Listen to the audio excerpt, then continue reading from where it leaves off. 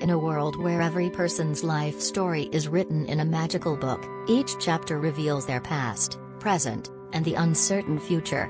The protagonist, a young animator named Lyra, discovers that her book is missing the final chapter. Desperate to know how her story ends, she embarks on a journey through the mystical library of Lost Dales. As she searches, she encounters other characters whose books have incomplete or altered endings an artist whose work is always unfinished, a traveler whose journey never finds a destination, and a poet whose verses fade before they're complete. Each one believes that the missing pages are hidden deep within the library.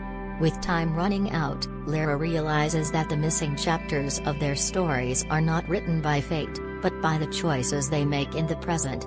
She gathers the ground. As the drop touches the earth, it miraculously begins to spread, turning barren land into lush, green fields. Water springs forth, not just in her village, but across the entire world. Mina's selflessness not only saves her people but restores balance to the planet. The courage to write her own ending, realizing that the true power lies not in knowing how the story ends, but in shaping it herself.